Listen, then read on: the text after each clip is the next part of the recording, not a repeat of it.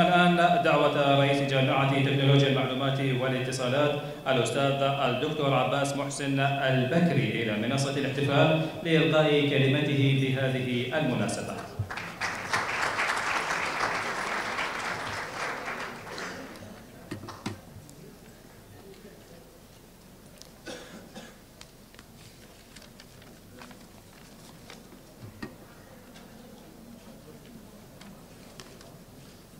بسم الله الرحمن الرحيم.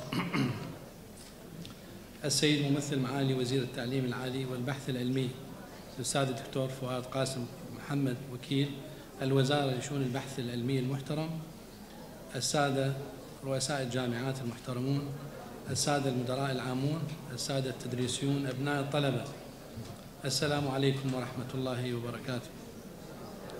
تحتفل جامعتنا جامعة تكنولوجيا المعلومات والاتصالات هذا اليوم بتخريج الدورة الأولى دورة النصر والتنمية.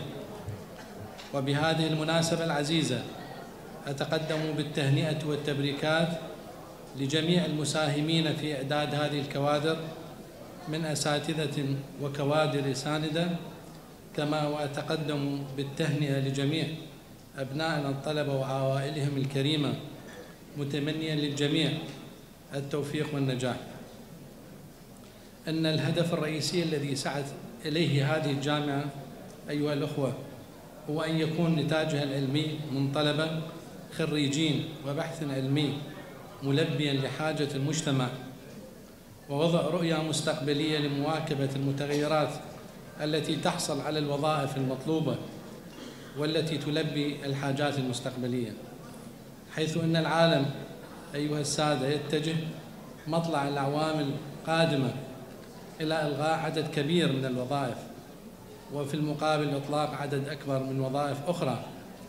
ومع هذه المتغيرات لذا نرى أن الجامعات معنية بأن تكون لديها برامج تتناغم مع هذه المتغيرات.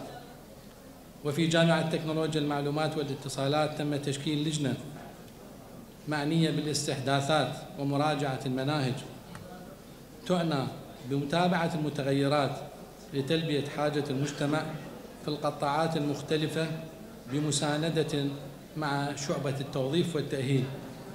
وهنا أود أن أبارك لأبناء الطلبة الذين حصلوا على وظائف من شركات القطاع الخاص والحكومي ومثال ذلك شركة أسوال البرامجيات شركة إيرثلينك اتصالات شركة إراقنا الاتصالات المتنقلة شركة بوابة القمر تقنيات الأنظمة وأيضا الذين تعينوا على ملاك الجامعة أو بصيغة عقد على كلية معلوماتية الأعمال كما أود أن أتقدم بالشكر والتقدير إلى الشركات المذكورة آنفا للتعاون مع الجامعة في الإعلان عن المهارات المطلوبة في الخريج وإبرام اتفاقيات مع الجامعة في مجال التعاون العلمي.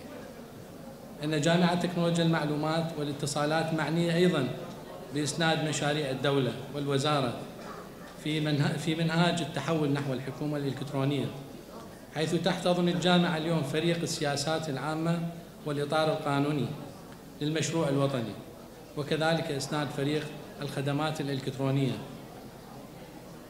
بكادر متخصص من مبرمجين ومحللي أنظمة. وفي الختام أتمنى للجميع الحضور الكريم الموفقية والرقي خدمة لبلدنا العزيز ومن الله التوفيق. والسلام عليكم ورحمة الله وبركاته.